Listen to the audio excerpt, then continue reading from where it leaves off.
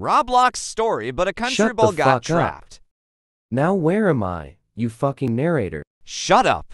Anyways, let's start the story. New oh oh oh oh. Hey, ugly noob, I have something to tell you. I know you have fucking one infinite Robux. You must crusty, pisty, dusty, messy fucking bitch. How did you know ugly? Because I'm a main character, you need to get out before I smack your face to universe. Ugh, fine, goodbye, ugly.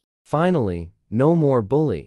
Hey, do you want to join my GC? No, USA underscore the strongest has joined the GC. EWW, who's this ugly noob? you better shut your mouth up before I kick you out at my country. Whatever. Guys, let's do face reveal. No, I mean yes. Okay. My name is Jessie. I'm 16 and this is me. That's So a hot Google babe. image. Our next Filipino ball. Fine. My name is Philippines, and this is me. So hot I want to be in our country. WTF. Ugly. Too cool, bro. We're friends. Thanks. Now Slender turn.